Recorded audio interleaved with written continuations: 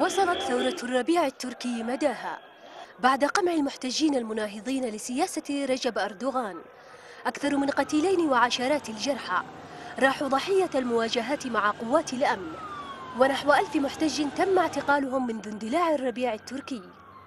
ولا تزال دعوات إسقاط نظام أردوغان وإقصاء قادة الشرطة في أنقرة وإسطنبول ومدن أخرى تلوح في الأفق بسبب استخدامهم العنف ضد المتظاهرين.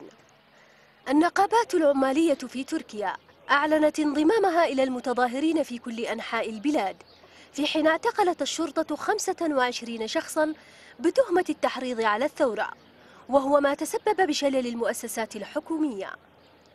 رابطة حقوق الإنسان التركية ذكرت أن أكثر من 2800 متظاهرا جرحوا في الاحتجاجات غير أن أمريكا هذه المرة شددت حدة خطابها تجاه تركيا.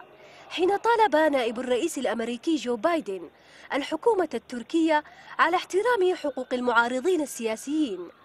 ويبدو أن مستقبل أردوغان بات قاب قوسين أو أدنى بعد أن فشل كثيرا في سياسته أمام شعبه ونجح كثيرا في تبنيه ما يسمى بالربيع العربي.